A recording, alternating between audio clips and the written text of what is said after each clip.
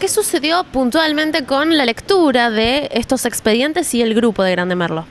¿Qué fue lo que sucedió? Bueno, em, en el bloque Grande Merlo, en la Comisión de Hacienda, están representados, los representan los concejales Mauricio Canosa y el concejal Pablo Rendich. El concejal Pablo Rendich no asistió, no nos dio información de por qué no venía, siendo que eran expedientes de mucha relevancia y de mucha importancia, y sí asistió el concejal Canosa que trabajó junto con todo el cuerpo de, mm, con todos los integrantes de la comisión, mano a mano, hizo las preguntas necesarias, acompañó todos, todos los, expedientes que hoy se trataron en, eh, en, la sesión, todos. De hecho, firmó el presupuesto, acompañó el presupuesto para el año 2015. Y el presupuesto, para quienes no lo sepan, está integrado por partidas presupuestarias y es un expediente que es más de mil folios.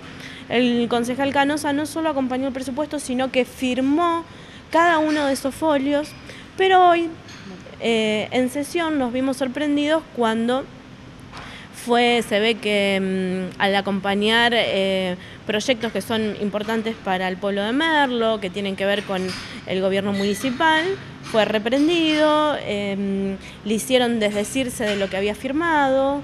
Em, y fue ninguneado. La verdad hemos visto, estuvimos en presencia de cómo el presidente de bloque, el concejal Pablo Rendich, ninguneó a un, a un concejal de su bloque, como es el concejal Mauricio Canosa y lo dejó en banda. Lamentablemente, como se dice vulgarmente, lo dejó en banda y el pobre concejal no tuvo otra cosa que decir, como que se había confundido, que no sabía lo que había firmado, pero bueno, esto no, no es así, ¿no?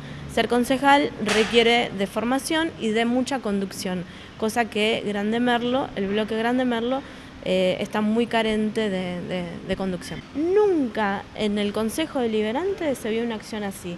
¿Cuál? ¿De qué acción me refiero? Afirmar algo, aprobarlo con puño, letra, nombre y apellido y después desdecirse y decir, bueno, no lo apoyo. Eso nunca se vio, es una falta de respeto y la verdad es muy lamentable para, todos los ciudadanos. Usted como una persona que compone este bloque de concejales, ¿qué le, qué le da a entender este tipo de acciones? Mm, que a Grande Merlo no le importa el otro. La verdad que el, bloque de Grande Merlo muestra que hay una gran debilidad entre ellos, hay, un, hay una crisis muy grande entre ellos.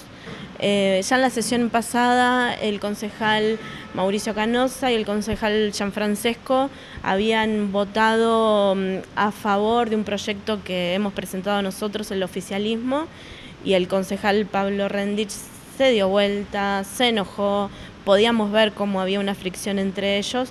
Yo que tengo muchas diferencias políticas con el concejal Mauricio Canosa, la verdad que me, dio mucha pena, mucha pena como ciudadano, pero también mucha pena política, porque estas cosas no le hacen bien a la política.